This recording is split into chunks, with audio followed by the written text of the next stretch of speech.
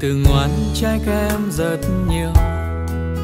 Sao ngày ấy bỏ anh trong cô liêu anh từng nói với em rất nặng lời. Sao ngày ấy để anh uống chơi vơi? Giờ lớn hơn anh mới hiểu. Ai cũng muốn cuộc sống không lo toan. Vì lúc em nào dám gửi phận cho anh sai lầm lớn nhất anh mang trong cuộc đời là đánh mất em khi ta tuổi đôi mươi.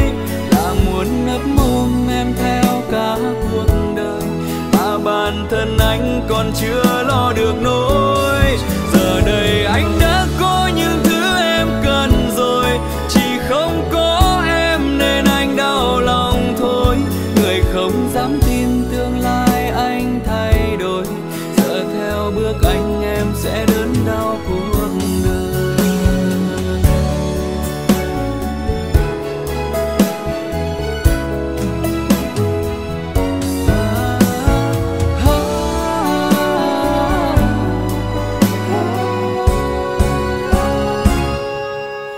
sai lầm lớn nhất anh mang trong cuộc đời.